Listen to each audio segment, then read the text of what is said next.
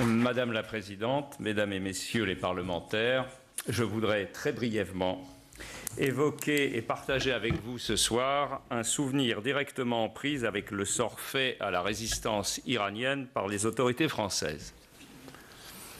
Il y a bientôt une dizaine d'années, j'ai été convoqué à la brigade financière de Nanterre pour une audition concernant ma participation aux collectes organisées par l'association Iran Head.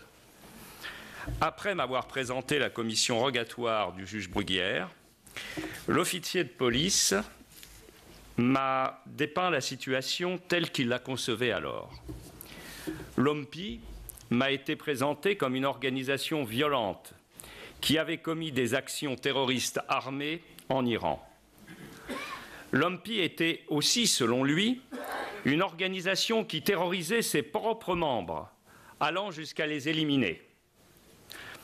Enfin, l'OMPI avait abusé les citoyens français qui pensaient venir au secours des victimes de la répression en Iran en détournant leur argent au profit d'actions subversives ou pour l'enrichissement de l'organisation.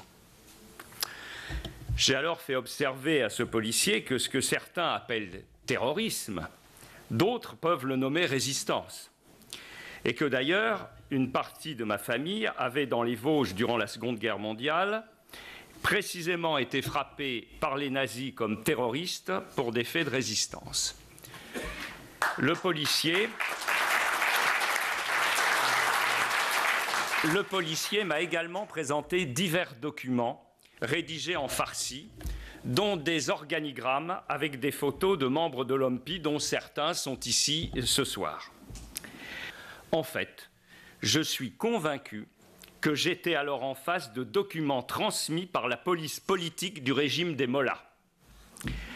Lorsque j'ai fait observer à l'officier de police qu'on ne pouvait pas considérer les membres de la police iranienne au même titre que des policiers d'État démocratique, j'ai senti chez lui un trouble net et il m'a avoué, selon ses propres termes, s'être posé beaucoup de questions au début de l'enquête.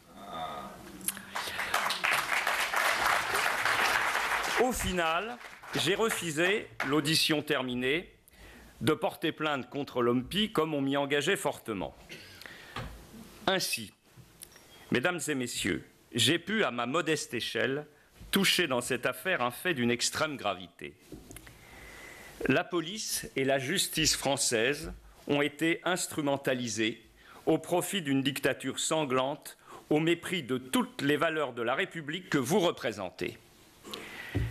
C'est entre autres sur la base d'un honteux marchandage pétrolier que l'affaire s'est nouée. Mais il y a plus. Cette lamentable compromission illustre à mon sens la vigueur et l'impact en France des services du régime théocratique, qui possèdent des relais dans notre administration et même, vous le savez, parmi nos élus. C'est le grand complot dénoncé par le préfet Yves Bonnet, qui a été ainsi mis à l'œuvre.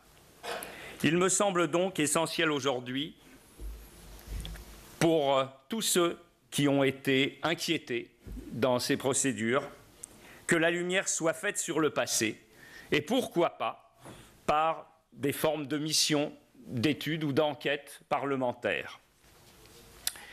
Et quant au présent, une vigilance lucide doit tenir en alerte tous ceux qui connaissent l'importance essentielle pour l'avenir de la paix et de la démocratie dans le monde que représente l'installation à Téhéran d'un nouveau pouvoir représentant les aspirations profondes et légitimes du peuple iranien à la liberté et à la prise en main de son propre destin. Je vous remercie.